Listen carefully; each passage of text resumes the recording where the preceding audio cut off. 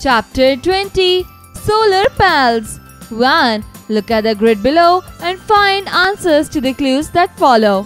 Clues The largest planet, Jupiter.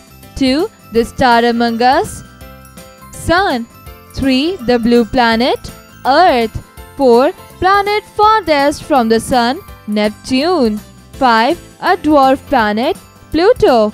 6. Planet with the most number of rings, Saturn. 7. The red planet, Mars. 8. Planet nearest to the Earth, Mercury. 9. The hottest planet, Venus.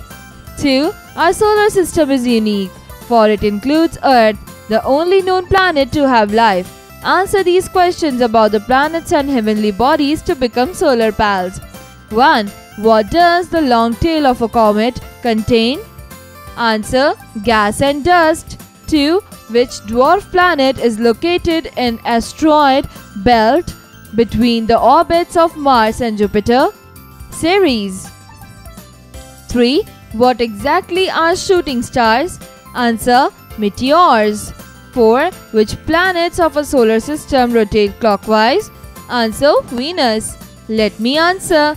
Do you know that astronomy is the study of planets and other objects in space?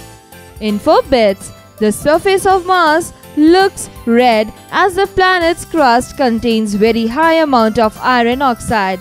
Teachers note discuss the names of space travelers like Kalpana Chawla and Neil Armstrong and discuss their contributions.